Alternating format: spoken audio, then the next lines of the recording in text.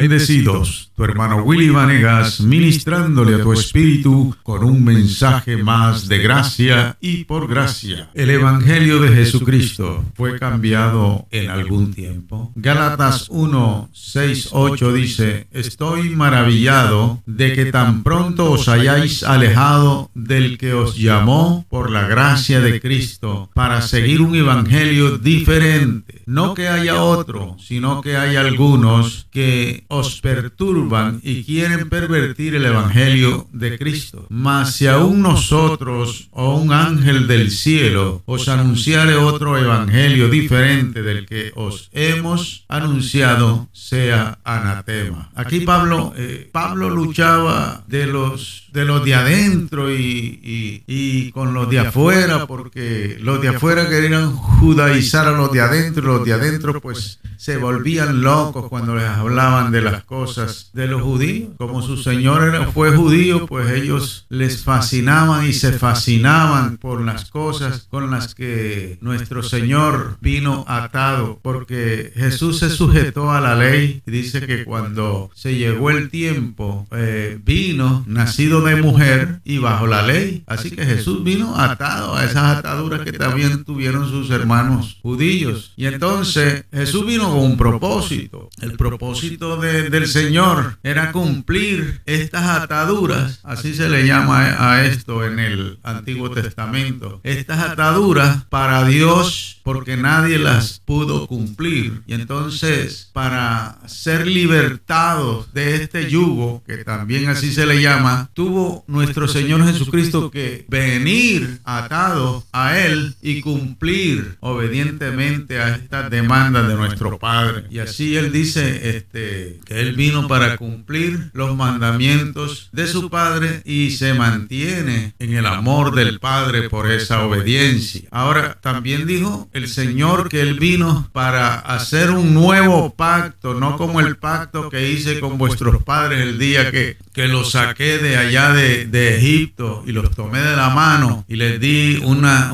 y, y les daré, dice, unas nuevas leyes Quiere decir que ese pacto Dios lo cambió, pero no lo abrogó, porque el Señor dijo, no vine a abrogar la ley y los profetas, sino a cumplirla. Ya ellos la habían abrogado. ¿Y para qué sirve algo que ha sido abrogado, algo que ha sido pisoteado? Es como la sal, si la sal no, no, no, no tiene, eh, es insípida, ¿para qué sirve? Entonces dice la Biblia que el Señor vino y nos dio un nuevo pacto. No que nosotros, estoy hablando como judío, pero nosotros los gentiles nunca estuvimos en ese pacto, aunque sí, todo el mundo estaba condenado por causa del pecado, no por causa de incumplir la ley, pero ellos estaban bajo unas leyes que Dios los había santificado bajo esas leyes para que de ahí naciera el Mesías que los iba a librar y les iba a dar la salvación por gracia, la salvación de gratis. Y entonces este evangelio se le dio a Pablo, el evangelio de la gracia, los demás hermanos no se les había abierto con completamente los ojos acerca de esta gracia que Pablo predicaba. Pero la comprendieron después. Eso se ve en muchos versículos y el Señor mismo les había dicho, tengo unas cosas que decirles, pero todavía no las pueden llevar, porque eh, para el judío casi era imposible este, aceptar la gracia, pues a ellos les había dado una ley que decía que,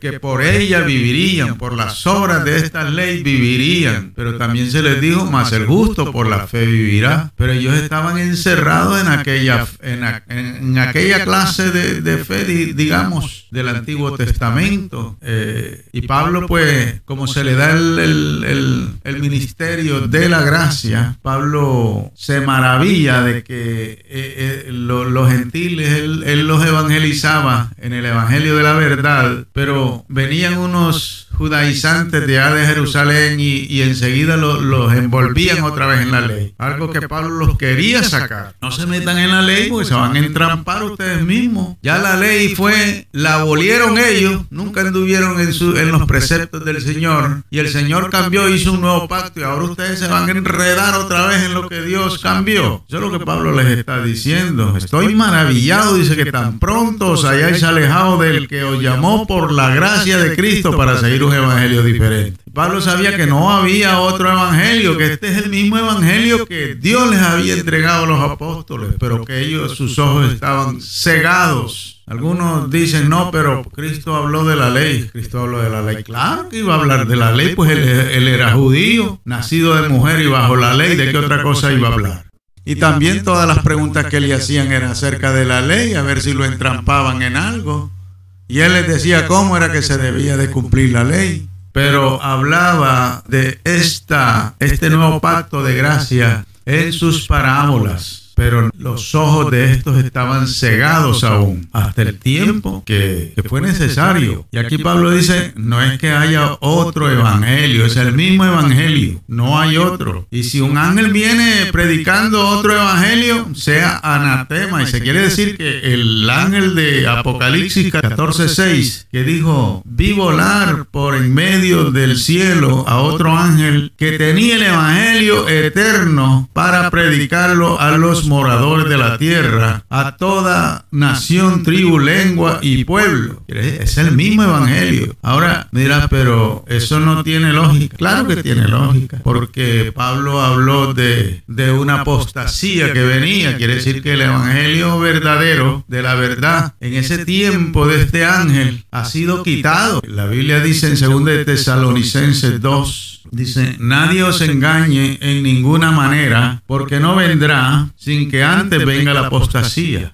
y se manifieste el hombre de pecado. Quiere decir que antes de la manifestación de este inicuo hay una apostasía y se manifieste el hombre de pecado, el hijo de perdición. Y ahora vosotros ya sabéis lo que lo detiene. ¿Qué es lo que lo detiene? Esta apostasía. Pero si lo está diciendo bien claro aquí, a fin de que a su debido tiempo se manifieste, porque ya está en acción el misterio de la iniquidad. Solo que hay quien al presente lo detiene hasta que él a su vez se ha quitado de en medio inicuo cuyo advenimiento es por obra de Satanás con gran poder y señales y prodigios mentirosos, todo engaño de iniquidad para los que se pierden, doctrinas de demonios, por cuanto no recibieron, dice, el amor de la verdad para ser salvos. Cristo dijo, yo soy el camino, la verdad y la vida. No recibieron este amor de la verdad, sino que se fueron en contra, siguiendo aquella antigua doctrina que se les había dado a aquel pueblo. Estoy maravillado que tan pronto os hayáis alejado de aquel que os llamó por la gracia de Cristo para seguir un evangelio diferente. Así que estos se pierden porque están siguiendo un evangelio diferente, hermano. Por ejemplo, Pablo dice en Hechos 13, 38, 41 dice, sabed pues esto,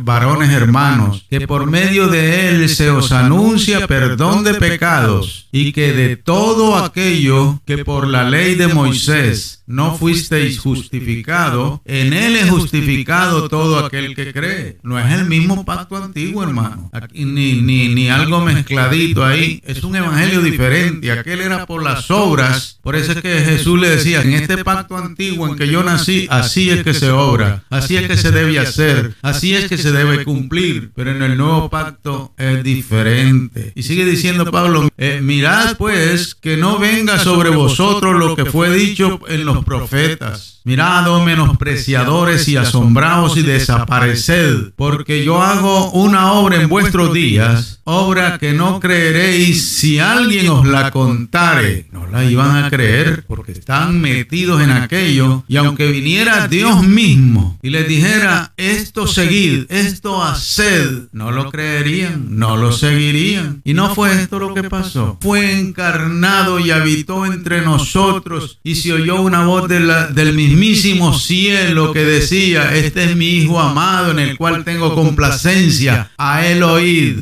Este estudio continuará en su segunda parte de El Evangelio fue cambiado